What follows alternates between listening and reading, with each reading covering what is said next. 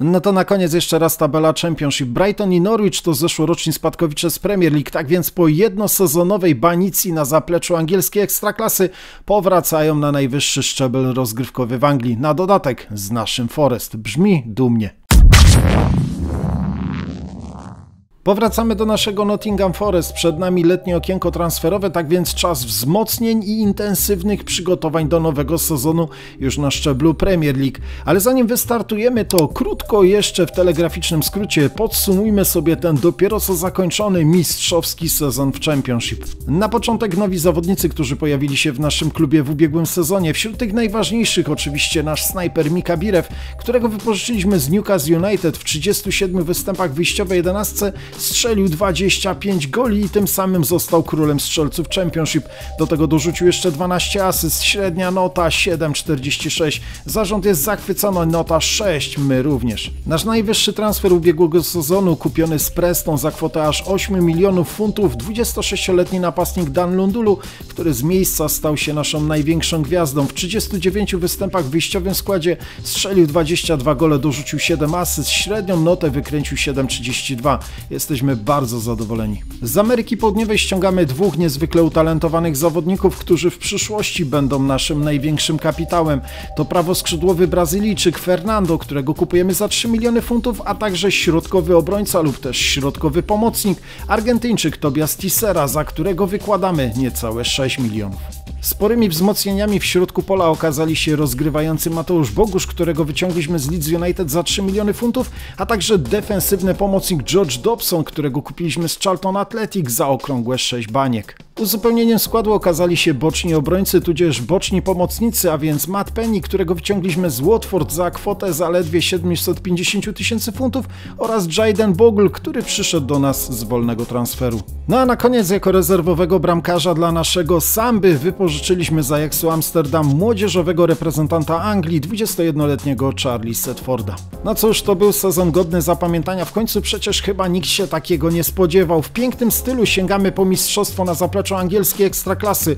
Odnosimy 30 zwycięstw, ośmiokrotnie remisujemy i zaledwie ośmiokrotnie schodzimy pokonani. Bilans bramkowy to aż plus 40, a do 100 punktów brakło nam zaledwie dwóch oczek. Coś niesamowitego.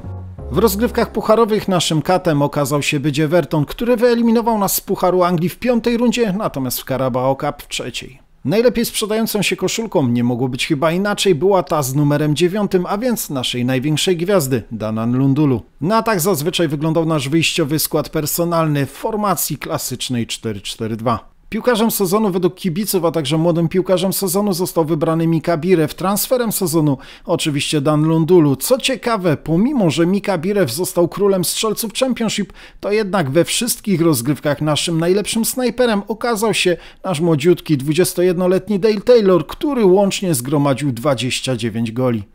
Oczywiście piłkarzem roku Championship mógł zostać tylko on, Mika Birew, wykręcając rekordową średnią notę 7,51. Został również królem strzelców tych rozgrywek, zdobywając aż 23 bramki. I tylko żal, że niestety, ale to zawodnik tylko wypożyczony z Newcastle United, dlatego najprawdopodobniej wkrótce będziemy się musieli z nim rozstać.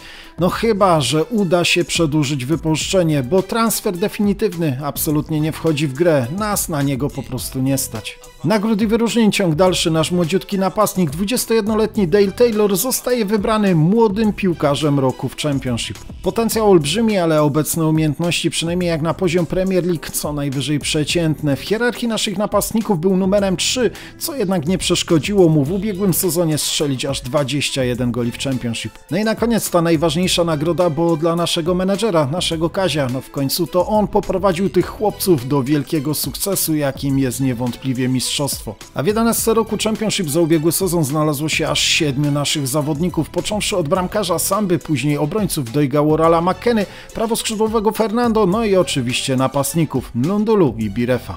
No to jeszcze takie krótkie i całościowe podsumowanie ubiegłego sezonu w Championship, ale i w całej angielskiej piłce. Z awansem do Premier League, oczywiście poza nami, Brighton i Norwich, spadku doznały Barnsley, Charlton i Birmingham. Największa niespodzianka, no nie mogło być inaczej, nasze Forest, a największe rozczarowanie Swansea. Mistrzem Anglii w sezonie 2024-25 zostaje Manchester City, spadku z Premier League doznają Reading, Crystal Palace i Brentford. Tymczasem na trzecim szczeblu rozgrywkowym, a więc w League One, po sięga Ipswich Town.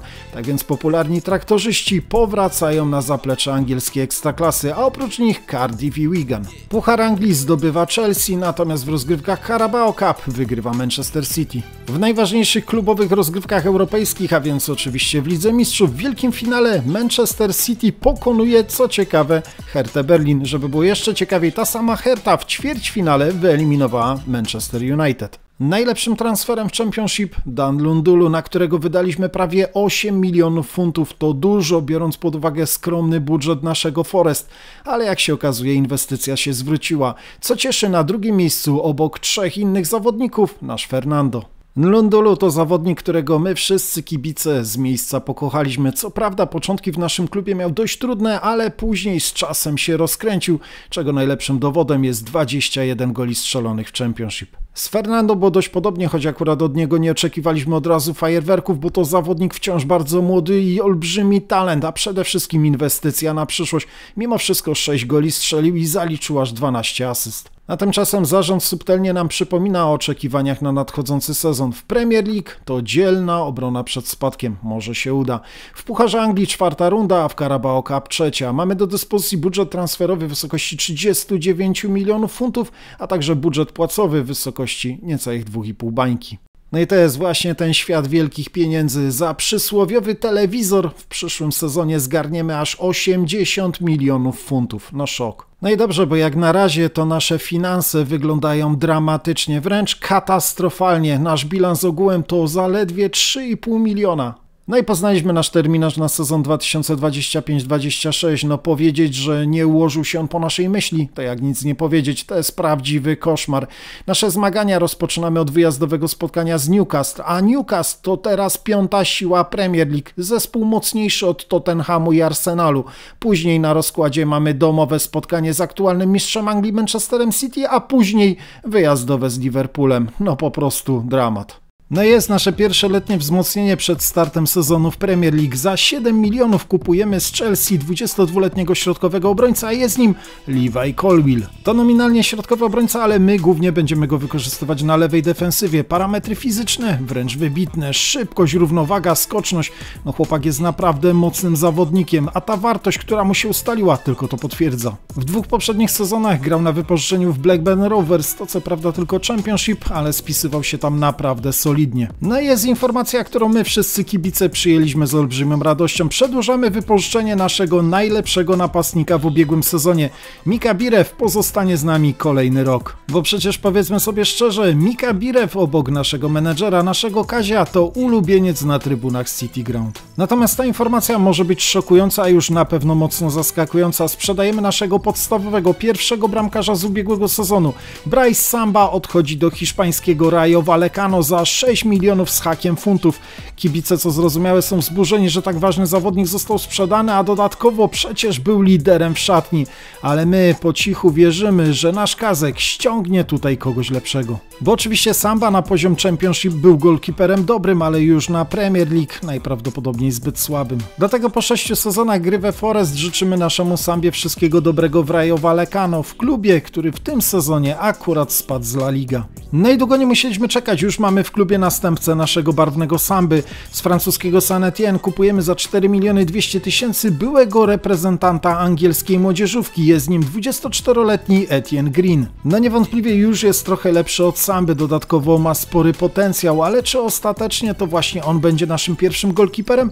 No cóż, czas pokaże, tym bardziej, że chodzą słuchy, że Kazek wciąż pracuje nad transferem jeszcze jednego bramkarza. A sam Etienne Green, co ciekawe, pomimo że urodzony w Anglii, całą karierę zawodową spędził we Francji w Saint-Étienne. Czas najwyższy powrócić na wyspy. A na naszym pokładzie pojawia się już kolejny zawodnik na zasadzie wypożyczenia. Ściągamy z Manchesteru City 23-letniego środkowego pomocnika Tomiego Doyla. U tego byłego reprezentanta angielskiej młodzieżówki umiejętności już się zgadzają, potencjał jest dużo większy, liczymy, że będzie solidnym wzmocnieniem. Niestety jego doświadczenie na poziomie Premier League jest znikome, żeby nie powiedzieć bliskie zeru. Regularnie grał tylko przez jeden sezon na dodatek na wypożyczeniu w HSV Hamburg na poziomie drugiej Bundesligi. Czas najwyższy zatwierdzić premię dla drużyny na nadchodzący sezon, żeby umotywować naszych chłopców w walce przed spadkiem z Premier League.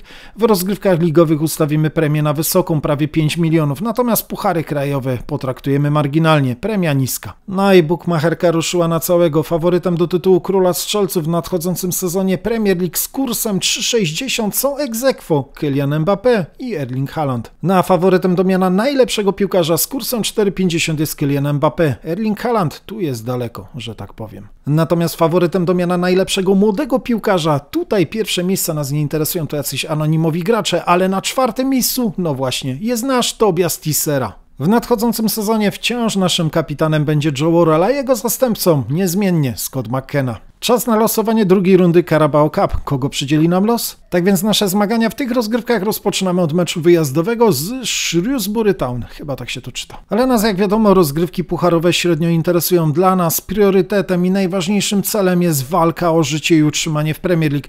Mamy już zapowiedź naszego pierwszego spotkania. Gramy na wyjeździe z Newcastle United. Oczywiście faworyt może tu być tylko jeden, to gospodarze. A my jesteśmy dodatkowo osłabieni brakiem naszego snajpera Mika Birefa, którego przecież właśnie mamy wypożyczonego z Newcastle. Czas na przygotowania do naszego debiutu w Premier League. Wciąż gramy naszym asymetrycznym 4-4-2, podobnie jak w Championship, tyle że teraz w wariancie dużo bardziej ostrożnym.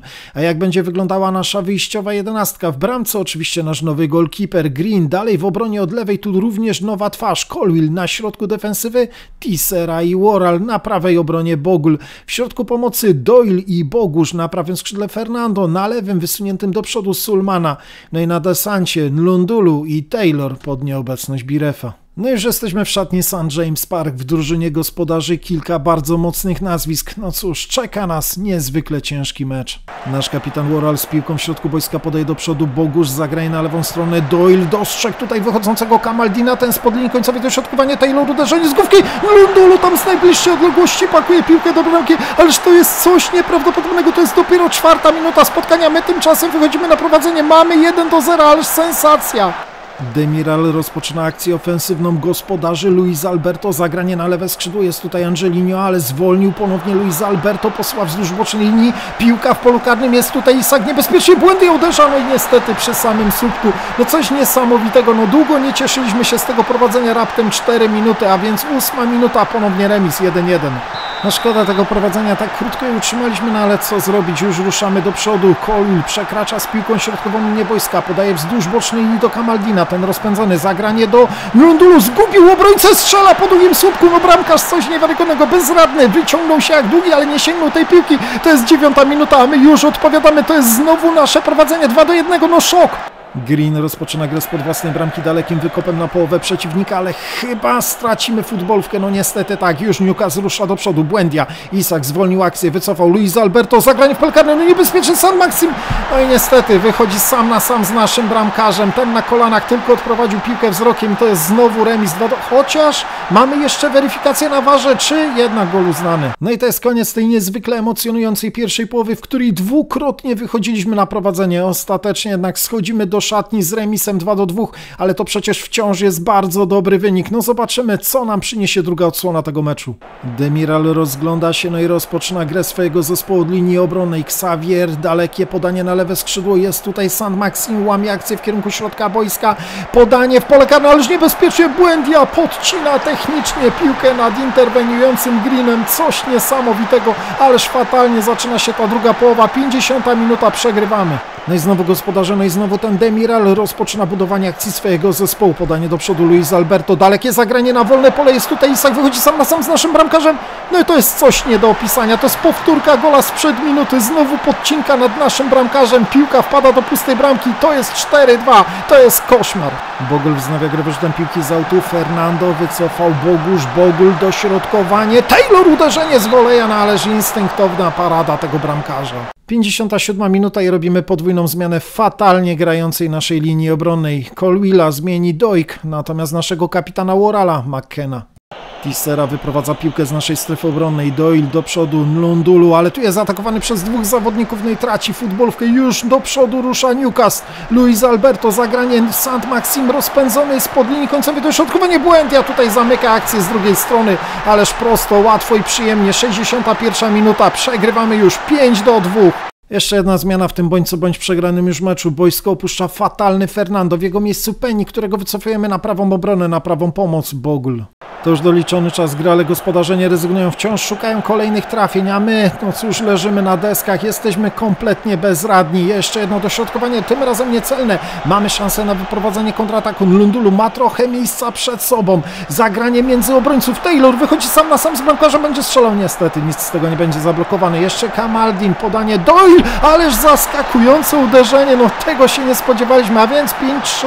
Co za dramaturgia spotkania. Pomimo, że dwukrotnie wychodziliśmy na prowadzenie, ostatecznie przegrywamy z Newcastle United na wyjeździe aż 5 do 3. Pytanie tylko, czy zasłużyliśmy na aż takie baty. Współczynnik XG dla gospodarzy to 1,75, dla naszego zespołu 1,44. Tak więc można zachodzić w głowę, skąd te 5 straconych goli. Ale z drugiej strony nasza obrona razem z bramkarzem zagrała po prostu dno. Tak więc jesteśmy bez punktów, ale tego w sumie można się było spodziewać. W innym ciekawym dla nas spotkaniu, a więc meczu Beniaminków, Brighton zremisował z Norwich 1 do 1. No cóż, gdzieś tam po cichu liczyliśmy na remis, ale rzeczywistość okazała się brutalna. Ten debiut w Premier League spisany na straty. No i mamy w klubie drugiego bramkarza z francuskiego Nans. Kupujemy za 5 milionów funtów 26-letniego Albana Lafonta. I to właśnie ten dwukrotny reprezentant Francji docelowo powinien być naszym golkiperem numer jeden, aczkolwiek nie skreślamy jeszcze Greena, a jego rywalizacja z Lafontem o bluzę z numerem jeden będzie tylko z korzyścią dla naszego zespołu. Alban Lafont niegdyś był uznawany za olbrzymi talent, kiedy Fiorentina kupowała go w sezonie 2018-19 z francuskiej Toulouse. Jednak we Włoszech coś nie pykło, powrócił do Francji i w Nantes dość regularnie grał od kilku sezonów. Teraz najwyższy czas na Premier League. Za ostatnie pieniądze, a konkretnie za ostatnie 9 milionów funtów w naszym funduszu transferowym kupujemy od naszego niedawnego pogromcy, a więc Newcastle United, 25-letniego pomocnika Joey Loka. To nominalnie środkowy pomocnik, ale my głównie będziemy wykorzystywać go na skrzydłach, szczególnie po lewej stronie boiska. Parametry go do tego predestynują. Niezwykle wysokie przyspieszenie i zwinność to jego atuty. Joey Lok to wychowanek Arsenalu, którego w sezonie 2021-22 Newcastle wykupiło za 25 baniek. W zeszłym sezonie grał na wypożyczeniu w Wolverhampton na poziomie Premier League, ale za wiele tam nie zdziałał. Przechodzimy już do naszego drugiego ligowego spotkania. W Nottingham od kilku dni panuje święto. Na nasze City Ground przyjeżdża aktualny mistrz Anglii, giganci z Manchesteru City. Oczywiście faworytem tego spotkania może być tylko jedna drużyna. Żeby było ciekawiej, tak jak w poprzedniej kolejce nie mogliśmy skorzystać z wypożyczonego z Newcastle Mika Birefa, tak w tej kolejce nie możemy skorzystać z wypożyczonego ze City Tomiego Doyla. Ale czy z nim, czy bez niego, to właściwie jest jasne, że tu jesteśmy skazani na pożarcie. W porównaniu do tego przegranego meczu z Newcastle United, w wyjściowej 11 mamy kilka zmian personalnych. Dodatkowo powracamy do klasycznej formacji 4-4-2. Tak więc w bramce ponownie damy szansę Greenowi. Dalej w obronie od lewej Colwill, na środku defensywy McKenna Warral, na prawej obronie Bogle. Dalej w drugiej linii od lewej Willock, na środku pomocy Bogusz Tissera, na prawym skrzydle Fernando. No i na ataku Birewin Lundulu. W wyjściowej 11 Manchesteru City, które co ciekawe prowadzi Massimiliano Allegri, aż roi się od największych gwiazd światowego futbolu. No powiedzmy sobie wprost, to będzie starcie Dawida z Goliatem. Możemy tylko prosić o najmniejszy wymiar kary. A jednak kary nie było. To prawdziwa sensacja. Ku zaskoczeniu chyba wszystkich ostatecznie remisujemy z Manchesterem City na własnym stadionie 1 do 1. Oczywiście w przekroju całego spotkania byliśmy zespołem zdecydowanie słabszym, ale o tym za chwilę już nikt nie będzie pamiętał. Co więcej, w tym meczu prowadziliśmy od 12 minuty po golu Nlundulu. Taki wynik utrzymywał się bardzo długo, bo aż do 74 minuty, kiedy to wyrównał Erling Haaland. Trochę szkoda, ale i tak jesteśmy szczęśliwi. Mamy zatem ograny pierwszy punkcik w Premier League, no ale z kim? Jesteśmy naprawdę dumni. Wielki to i ważny był mecz w historii Nottingham Forest, ale już o nim zapominamy, lecimy dalej. No niestety niefajna informacja, zarząd redukuje nam procent dochodów z transferów udostępniony na zakup nowych zawodników do 55%. Chwila oddechu od tych wielkich batalii z gigantami światowego futbolu, bo przed nami druga runda Carabao Cup, a w niej mecz wyjazdowy ze Shrewsbury Town. To zespół z League One, tak więc naszym obowiązkiem jest tutaj zwycięstwo, no i awans do kolejnej rundy. No i nie mogło być inaczej, bez większego problemu wygrywamy 3 do 1 po dwóch golach Taylora i jednym trafieniu Lundulu. Co warto odnotowania w tym spotkaniu w barwach naszego zespołu zadebiutował nasz nowy bramkarz Alban Lafont. Jesteśmy zatem w trzeciej rundzie Carabao Cup, no i czekamy na kolejnego rywala. No i tego brakowało. Nasz podstawowy środkowy obrońca, 28-letni Scott McKenna, doznał kontuzji, niezdolny do graż do 11 dni, tak więc w kolejnym ligowym spotkaniu niestety go zabraknie. No i już mamy losowanie trzeciej rundy Carabao Cup. Spójrzmy zatem na kogo tym razem trafimy. Na Fulham, tak więc to będzie starcie dwóch zespołów z Premier League, a mecz zostanie rozegrany na naszym City Ground. Po ostatnich transferach nasz budżet na zakup nowych zawodników niestety świecił już pustkami, ale nasz Kazek na kolanach wybłagał zarząd o dodatkowe środki, no i cudem dostaliśmy niecałe 7 milionów funtów. To co prawda niewiele, no ale zawsze coś. Powracamy już do rozgrywek ligowych, a tutaj czeka na nas mecz, który właściwie spokojnie mógłby się nie odbyć. Zaakceptowalibyśmy porażkę walkowerem, no i mielibyśmy święty spokój, a tak, to musimy mierzyć się z rywalem jak z najgorszego koszmaru, z wielkim Liverpoolem. Na dodatek to mecz wyjazdowy. No cóż, trudno szukać tu jakiejkolwiek nadziei na pozytywny wynik. Co więcej, jesteśmy pełni obaw, żeby to spotkanie nie zakończyło się naszą masakrą. Wyjściowej 11 mamy tylko jedną wymuszoną zmianę w stosunku do tego zremisowanego w cudowny sposób meczu z Manchesterem City. Kontuzjowanego środkowego obrońcę Scotta McKenna zastąpi Tissera, którego z kolei w środku pomocy zastąpi Doyle. Pozostali zawodnicy bez zmian. No już jesteśmy w szatni tego kultowego stadionu, jakim niewątpliwie jest Enfield. Wyjściowej 11 Liverpoolu, który co najśmieszniejsze prowadzi Pep Guardiola, pełno nazwisk ze światowego topu z pierwszych stron gazet. Co tu dużo mówić, idziemy jak na ścięcie, niech ten mecz już będzie za nami. A jednak uzyskujemy wynik lepszy niż porażka walkowerem, bo zwyczajnie strzelamy bramkę, której autorem jest Mika Birew. Ostatecznie jednak przegrywamy z Liverpoolem na wyjeździe 1 do 3, no ale to chyba oczywista oczywistość. Nikt tu się nie łudził, że ten mecz może skończyć się innym wynikiem, co najwyżej wyższą porażką. To był pierwszy mecz w tej trzeciej kolejce. Liverpool chwilowo wskakuje na fotel lidera, no a my spadamy na miejsce 18. W tym wszystkim to cieszy chyba tylko fakt, że kolejny jeden z najtrudniejszych meczów w całym sezonie mamy już za sobą. Po prostu. W kalendarzu mamy 1 września, tak więc chcąc nie chcąc przed nami ostatni dzień letniego okienka transferowego. Tradycyjnie mamy tutaj kilka bardzo mocnych plotek transferowych. Między innymi ta, że Arsenal chce wyciągnąć z Romy Lorenzo Pellegriniego za 85 milionów, czy też Tottenham, który chce kupić z Napoli Wiktora Osimena za 81 baksów. My tymczasem na tym tle dysponujemy naszym skromnym budżetem w wysokości niewiele ponad 6 milionów, które z trudem wyżebrał, wyprosił nasz Kaziu zarząd zarządu. Czy te pieniądze jeszcze zainwestujemy w zakup jakiegoś zawodnika? Wkrótce się przekonamy. Nawet szybciej niż wkrótce, bo w klubie właśnie witamy ostatniego piłkarza, jakiego kupujemy tego lata. Co ciekawe, wydajemy na niego wszystkie pieniądze, jakie pozostały nam w budżecie transferowym. Dokładnie za 5 milionów 250 tysięcy funtów. Kwota tu może wzrosnąć do 6,5 miliona. Ściągamy ze szkockiego Motherwell, bardzo młodego, ale niezwykle utalentowanego 18-letniego snajpera. Marka Nelsona. Ten etatowy reprezentant szkockiej młodzieżówki do lat 21 już teraz może pochwalić się sporymi umiejętnościami, no szczególnie te parametry fizyczne robią wrażenie, ale jeszcze większy drzemie w nim potencjał, charakter, perfekcjonista. Na dodatek to uniwersalny piłkarz, spokojnie może zagrać na prawym skrzydle i na środku pomocy, a do tego wszystkiego kupiliśmy go za 6 milionów z hakiem, a ustaliła mu się wartość pomiędzy 60 a 73 miliony funtów. No po prostu miał Nelson jest wychowankiem Motherwell, no i od trzech sezonów dość regularnie gra w szkockiej Premiership, ale teraz czas najwyższy wrzucić go na głęboką wodę do angielskiej Premier League. Zobaczymy tylko, jak sobie poradzi. Krótko mówiąc, nasz budżet transferowy został wyczyszczony do zera. Co gorsza, nasze aktualne wydatki na płace już przekraczają nasz ustalony budżet płacowy. Letnie okienko transferowe zamknięte na nasze skromne wzmocnienia wydaliśmy 30 milionów z hakiem.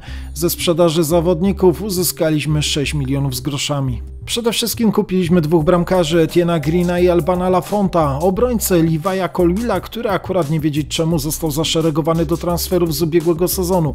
Poza tym pomocnika Joey Locka oraz napastnika Marka Nelsona. Dodatkowo wypożyczyliśmy Tomiego Doyla. Co ciekawe z naszym budżetem płacowym w wysokości 3,5 miliona funtów jesteśmy na szarym końcu, na ostatnim miejscu w Premier League. Taki pierwszy Manchester United ma swój budżet płacowy aż o 22 miliony wyższy od naszego.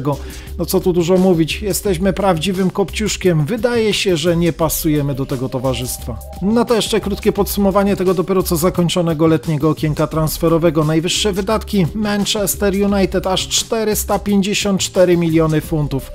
O ja pierdolę. Najwięcej sprowadzonych piłkarzy Leicester, aż 8. Najwięcej sprzedanych piłkarzy Manchester City, 22. A największy transfer okna oczywiście z udziałem Manchesteru United. Czerwone Diabły wyciągły z Realu Madryt Viniciusa Juniora za 136 baksów.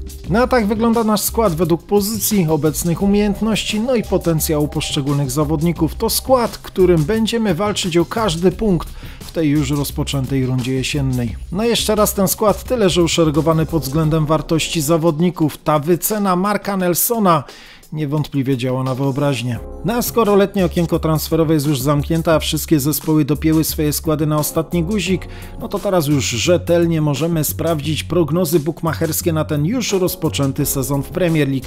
No i co widzimy? Niestety nasze Nottingham Forest z kursem 1001 jest absolutnie najsłabszym zespołem w całej lidze, praktycznie skazanym na spadek. No taka jest ponura rzeczywistość. Czy się ostatecznie uratujemy i utrzymamy? No cóż, czas pokaże. Spójrzmy jeszcze do góry. Faworytem do tytułu mistrzowskiego Manchester City z kursem 2,50. Co ciekawe, na drugim miejscu Manchester United z kursem 4,50. No ale trudno się dziwić, kiedy wydaje się pierdyliony na nowych zawodników. Na miejscu trzecim Liverpool z kursem 6,50. Tak by wyglądała stawka na ten sezon. Tak więc nowy sezon w Premier League na dobre wystartował. W pierwszych trzech meczach notujemy dwie porażki i remis, ale za to z kim? Z aktualnym mistrzem Anglii, panie Szacun. A z tym jednym punktem po trzech kolejkach jesteśmy na 16 miejscu w tabeli i nie mielibyśmy nic przeciwko temu, żeby tak już zostało do końca sezonu. To wszystko w tym odcinku, a w kolejnym już na dobre rozkręcimy tą rundę jesienną w Premier League. Na koniec zachęcam do subskrypcji kanału, pozostawienia łapki w górę i komentarza. Pozdro, dozo, cześć!